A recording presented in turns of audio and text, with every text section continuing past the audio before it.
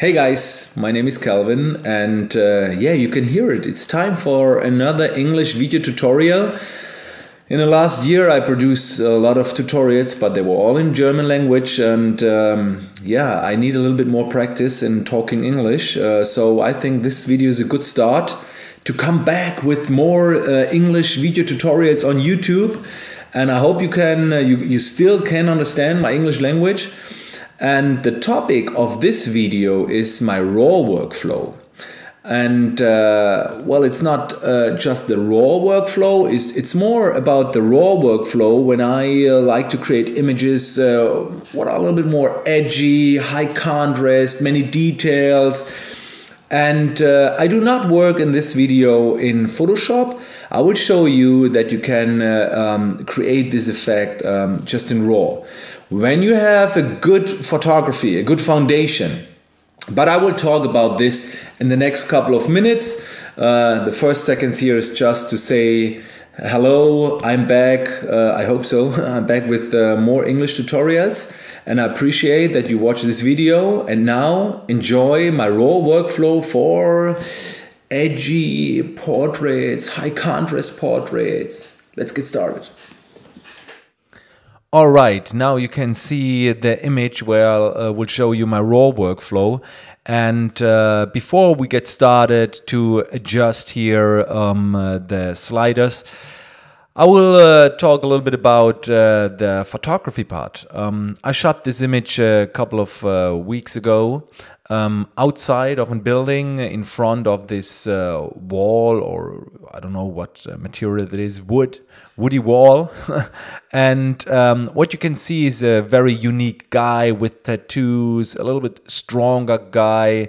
And this is uh, the first part, what is very important to create an image like this um, because you can't apply all the techniques what I will show you in the next minutes uh, to every model. You can apply it to a beauty model. Um, so what you need is a good model um, what uh, will work with the techniques what I will show you in the next minute. And uh, this is the guy what is uh, perfect tattoo um, we have here uh, jeans with many details, a shirt with many details, and the, the guy, the background is uh, important as well. And uh, the lighting for this image was uh, pretty simple. Uh, what I had is one main light coming a little bit uh, from the top. It was an Octabank. Don't ask me the size of the Octabank. Um, well, it's not so important. What was important for me um, to have a good raw file, a good foundation, and you can see here we have everywhere details, even the shadows. Maybe you can see it very good in the screen capture, but um, we have details here in the shadows, and this is very important for me. So when I take the picture live, uh, I will check the shadows and the highlights. And you can uh, do it here by clicking on that uh, two arrows here and you can see there are no red color, maybe a little bit blue color here, what is uh, black, and that's fine. And this is what I do when I take my picture. I, I take care about the highlights and shadows. I know the highlights here are a little bit bright, but you can see it. There are still some details inside. Um, but I have to go, uh, or I have to um, uh, use the Octabank uh, a little bit stronger because I need the details here as well. So this is not blown out, but uh, nearly to blown out highlights. All right, so before I uh, show you my raw conversion, let me open this file here in Photoshop and uh, let's create a new Smart Object via copy that you can see later the before after. All right, the first thing what I do, what, what is very important for this edgy style, for this high contrast style, this kind of an HDR style is um, you need details everywhere in the highlights and the shadows. And in the uh, latest version in Photoshop CC, um, you have two very interesting sliders. By the way, you can apply everything in Lightroom as well in the latest version. So uh, I do it with Camera Raw, but you can apply it with uh, Lightroom. So we have two sliders, the highlight sliders and the shadow sliders. So what I do here is um, I bring the highlight slider to the left side and you can see we have now much more details in the shirt. Yeah, and I do it a little bit more than necessary to minus 100. And the same with the shadow slider. we have shadows, uh, we have details in the shadows, but I like to have more. And by changing these two sliders, you can see we can get this kind of a little bit of an HDR look. And this look, many people write me, ah, oh, it looks a little bit like a painting. Of course, it's not a painting, but it looks not natural. And that's why people think it looks like a painting. But it's not. But it's a little bit more HDR. And there are many people out there who think, Oh, now I have the secret. Highlights down, shadows up. I can do it with every image. Uh-uh, you can't do it with every image. I told you you need a good photography. You need a, a, unique guy, a right, the right guy, a right background, and a good lighting where you have everywhere a little bit details and a little bit um, details in the shadows and in the highlights. This is very important. Otherwise, this effect will not work. But we are not done. I have a few steps more, what I do here. So this was step number one, highlights down, shadows up, and again, it will only work when you have a good photography. You can apply it on every image. Every good retouching starts with a good photography. So take care about the photography and the lighting. All right, the next step is the sharpness. I like to have it very, very sharp. So let me zoom in here. This is a sharp image. Um, don't ask me what lens I used. I guess the 85 millimeter 1.8 lens and a prime lens. Uh, very good quality. And right here, I apply sharpness. Of course, you can sharpen the image at the end. You can do it. But this is a raw file, and all I like to apply is a basic sharpness. And most of the time, I use the same radius, or let's uh, uh, say it again, uh, not most of the time, all of the time, I use a radius of 0.6. What I use sometimes in a very different way is the amount when I do beauty retouching, a very low amount, maybe 50 or 60. But in this case, I like to have it very rough, edgy. So let's choose here something around 90. But it depends on your image. Play around. One uh, 0.6 is, is a value what I use uh, most, no, all of the time. And the amount can be a little bit different. It's up to you. All right, now we have a sharp image and uh, many details and the shadows and the highlights, but it still looks a little bit natural. All right and what i don't like to have is a is an image what looks like in photography. So i have to apply a, a few more things what is not normal what is not um, what i can't capture in photography. So i have to change the reality a little bit to create this look what i'm talking about and uh, color color is very important so let's change the color a little bit and in this case, what I don't like is the red skin tone. It's a little bit too red. Um, we have many gray tones here, less saturation, and the skin tone looks very red. So this this technique, what I show you now, is a very good technique, and you can apply it uh, in beauty retouching as well when you uh, like to fix a, a red skin tone. So you can go here to camera calibration, and right here you can change the red primary. You can, when you have a very magenta skin tone, I mean, uh, he's not looking like this, but if you have an image where a skin tone is a little bit more like this, bring it to the right side because uh, a skin tone looks much better when a little, when there's a little bit more orange inside. So I change that a little bit and I like to desaturate the skin tone because I like to create a, a special look. So let's desaturate the skin tone. Now uh, it looks much better. Here the skin tone is uh, too saturated, so desaturate, and now everything is in a in a same tonality or a little bit the same saturation, and it makes more sense to me. All right. And uh, the image looks a little bit flat. When we look at this guy and the wall, what do you think? Soft or hard?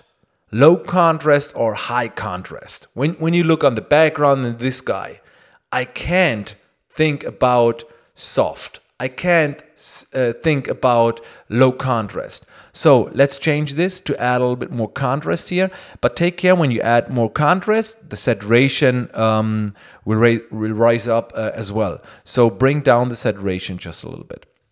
And uh, another uh, great tool to make an image a little bit more dirty is the clarity slider. Mo most of the Germans think, because the German name, name for the clarity slider is Klarheit, that means something like clear. Yeah, maybe it's same here, clarity, but it makes the image not clear. Clear means to me clean, but um, uh, here clarity makes the image, let's say, hard, rough, edgy. And if you need this effect, then you can apply it. Most of the time, I apply it maybe to 10 or 20, um, but in this case, I can go up. Maybe not so much, but uh, I guess this is a good value here. All right. And uh, you can see it, it gets better and better or stronger and stronger. I mean, better or better. Not uh, everybody like this look, uh, but uh, when you compare it to, to the raw file, it looks very different. But we are still not finished. What else uh, um, is here necessary? Well, um, when I take a look at the brightness of the image, I have here a brighter part in the image, here is a darker part, and I like to bring the focus of the viewer more in this part. So what I do here, um, I choose the radial filter. It's a very new tool uh, in Photoshop CC. And with this radial filter, I can uh, bring up here um, a circle, let's say circle, and um, then I can adjust uh, everything. You can see here I can adjust everything inside and outside. In this case, I like to adjust outside, the part outside, and in this case, I like to make it a little bit darker. Now, the brightness of the image is uh, nearly everywhere the same, maybe outside a little bit less, and I apply a new one here, another one, in this case, um, I like to make the, the part around him a little bit darker, but not so much, just a little bit. All right. Okay. And now add, yeah, well, let me click here again. And this is a good thing. You can change it whenever you like. So I have to adjust it here a little bit. It's a little bit difficult here in the screen capture because my resolution is not so good and I can see it not very good. But this works good to me. All right, and uh, now what about a color look? Uh, the image uh, looks not natural anymore in contrast, in light. Yeah, this is not the light what comes out of my camera. Well, maybe I can create the same light scene um, with photography. That's possible. But sometimes I do not have the time, I do not have the equipment, so I do it in RAW with the radial filter. But what I can't do in camera uh, I like to manipulate the color a little bit. And here's a great uh, look what you can create in uh, Photoshop as well, a very popular technique. You can go into the um, channels of, of your curve, into the blue channel, and you can apply a little bit more blue into shadows and a little bit more yellow into the highlights. Let's do some fine tuning here. And let me add a little bit grain. I know most of the photographers hate hate it when when uh, the image is a little bit noisy, but I love it. Uh, I mean, the, the image here is perfect to add more grain. Let me add more grain here. And most of the time, the people do not zoom in so much. Um, so let's add a little bit grain to make it a little bit more dirty, not so clean. And take a look. I mean, I love it. Let me apply it here a little bit. And let's compare um, uh, and uh, let me show you the before after. Well, this is uh, just raw. Of course, you can do more, much more in Photoshop. There are no dodging and burning.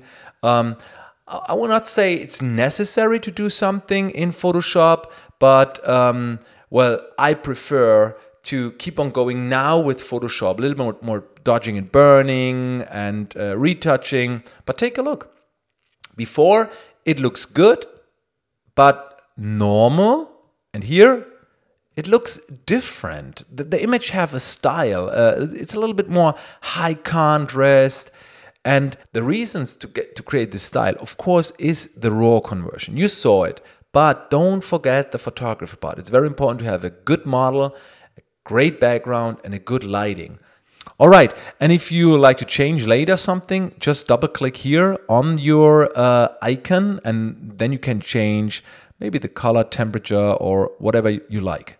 But this is, uh, I'm very happy with the result. Let's apply 100. Yeah. So another before after this is uh, what i like uh, the most at the end before after before after i can i can do it all the time before after before after All right, guys.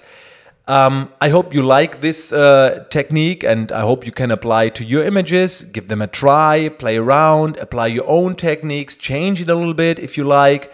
Um, this was my first uh, English tutorial after a while and uh, I appreciate your feedback. Give me thumbs up, share this video if you think it's good enough and uh, then I will do more English uh, videos, uh, of course.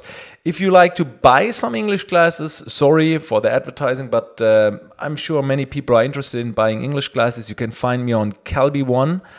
Um, uh, there are uh, many classes, and you can check out my website, photoshopfreaks.com. But I will do more in English on YouTube. All right, guys, thank you so much, and see you soon.